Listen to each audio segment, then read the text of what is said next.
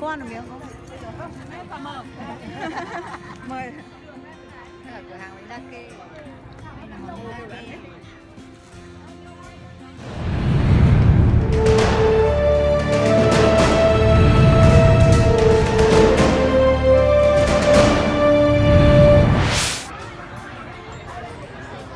Mình đang ở lễ hội ờ, ẩm thực Hà Nội năm 2019 là có rất nhiều các hàng ăn xứ sở của ăn vặt luôn Đây là cửa hàng bánh đa kê Kia bánh đa kê không? Chúng ta cùng vào mua bánh đa kê để ăn nha các bạn Cake. À, kê okay. Very delicious ờ, xôi chè kê kết hợp việc chuyên nhân còn nhớ nhớ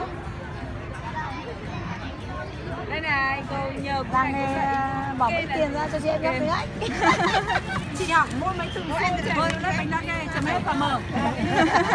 Mời, chị mời bạn đi chị. Cho em một cái vậy ạ. Cái này họ hay đi tông qua cửa Vâng ạ, nhưng mà không có cây ngon này đâu cô ạ. Thế ạ cái này là phải ăn luôn chứ không thì cái kia nó ỉu mất đúng rồi. nó hết giòn luôn. Vâng. phải ăn ngay. nhược điểm của còn mang về thì em để riêng ra.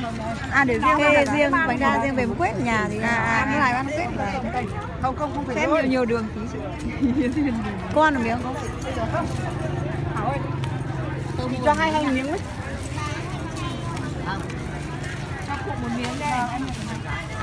Anh ăn thì ăn đây.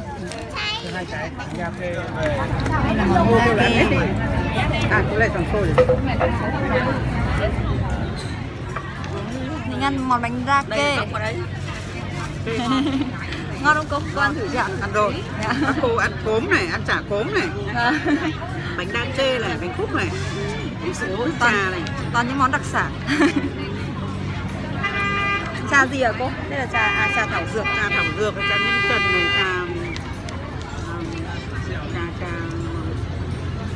Đây là mình cứ pha vào cái cái cái cái cái, cái, cái ấm đấy, ấm đấy. Pha thêm gói này vào nước. Pha không được. Trăm mấy? Trăm mấy? Trăm hai mà được uh, 20 gói, 29 gói. Lần trước tớ cũng mua trà trên ờ, Thái Nguyên ấy. Món bánh đa kê là bao gồm có cái vỏ bánh đa ở ngoài.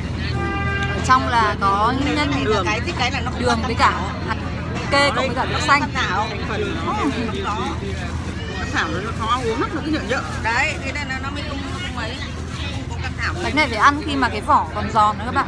Cái vỏ này còn giòn này.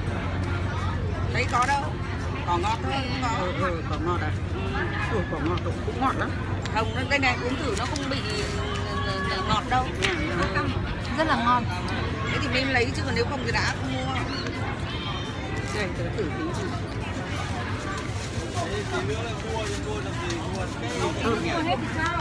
Lễ hội ẩm thực Hà Nội thì bao gồm có các món ăn ở Hà Nội, miền Bắc, có cả của à, miền Nam. Nó hôi ơi ơi là hôi không ăn được miền Trung.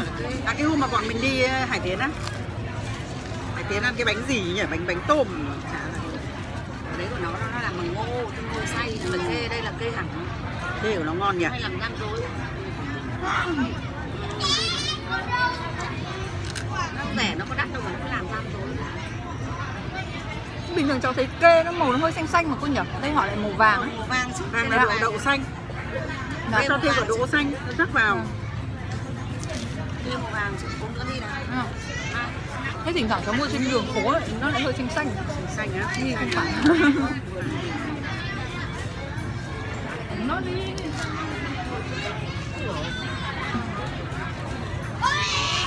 Nào đây còn phần mà cái khăn mới đây? Lau mồm vứt vứt vứt vứt vứt. Vứt đi vứt đi. Cho vào túi rồi cho vứt đi. Đây xong đây ừ, đây đây vứt Cái nhân của bánh rất là ngậy.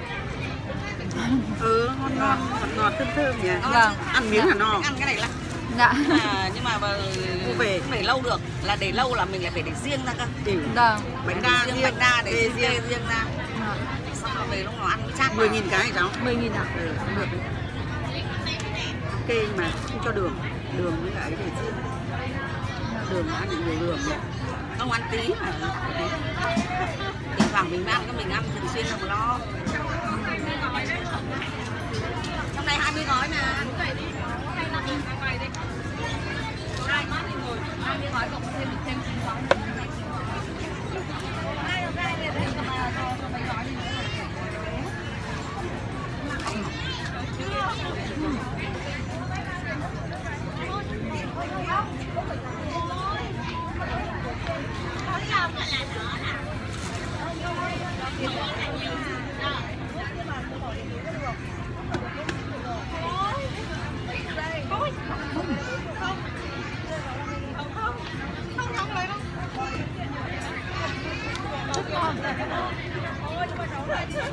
hết rồi. Rất lâu rồi mới được ăn món bánh à, ngon như thế này. Cùng đi tìm hiểu món ăn